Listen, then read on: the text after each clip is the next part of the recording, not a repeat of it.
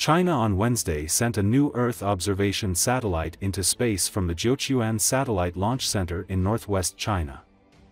The Gaofen 1205 satellite was launched at 7.45 am, Beijing time, aboard a Long March 4C carrier rocket and entered the planned orbit successfully.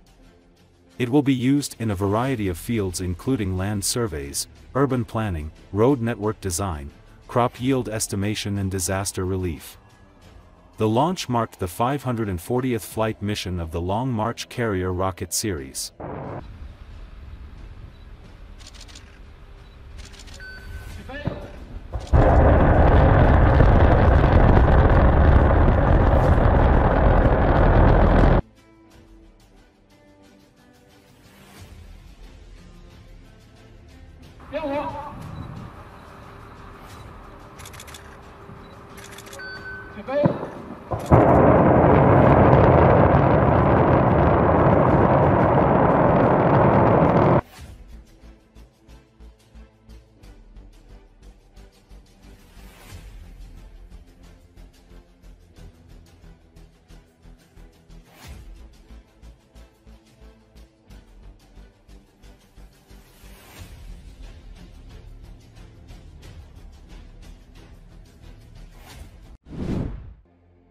China conducted its Joint Sword 2024B military exercise on Monday near Taiwan, sparking fresh tensions in the region.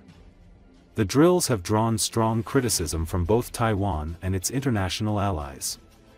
Jeff Liu, spokesperson for Taiwan's Ministry of Foreign Affairs, condemned the military maneuvers. China's actions once again challenge the rules-based international order and seriously undermine regional peace and stability, he said during a briefing on Tuesday. Su Tzu-yun, an analyst from Taiwan's Institute for National Defense and Security, weighed in on the implications of China's latest actions. The Beijing government's intimidation has always been 70% political and 30% military action, Su said. China's two Joint Sword AB exercises are not solely focused on Taiwan. They also serve as a statement to democratic countries, particularly the United States and Japan.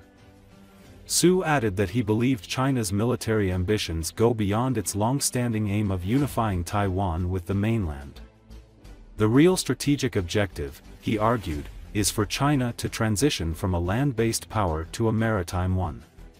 The Chinese Navy has changed from Greenwater Navy Navy to Blue Water Navy, and Taiwan is in an important location.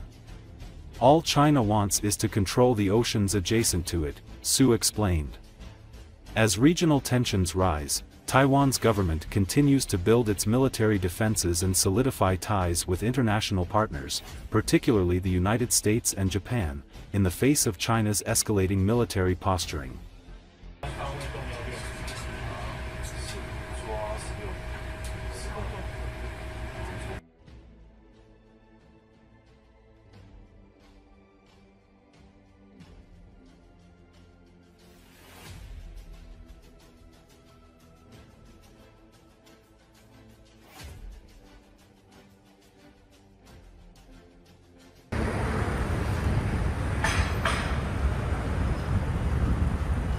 国解放军在十月十四号在台湾周边展开军事演习，再次挑战以规则为基础的国际秩序，严重破坏区域和平稳定。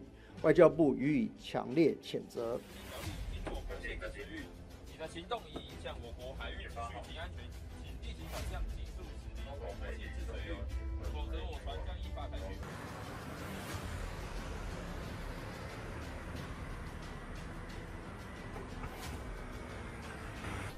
北京向来它都是所谓的七分政治三分军事，好，所以这一次所谓呃联合利剑两次 B 的呃这个军演，在我的观察，它是在做一个政治讯号的一个 message。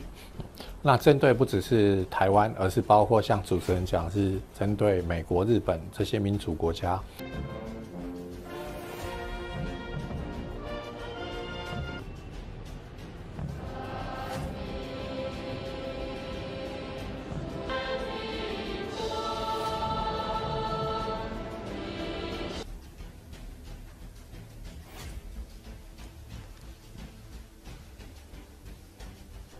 事实上，中国它会呃这样子的，就是扩张它军力，并不是所谓台湾的独立或是统一问题。哦，真正核心是北京要从一个 land power 变成 sea power，所以它海军从 blue 呃 water navy 变成呃 blue water navy，就走向远水海军。那台湾那是最重要的一个位置，所以它是要掌握海洋，控制海洋。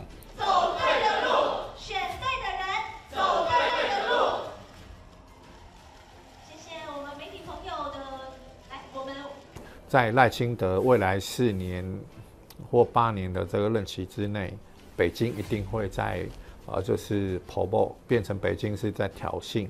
好，那台湾真的，我想，呃，最重要就是只有一个 more priority，就是你的防卫力量，hard power 反而是最重要的。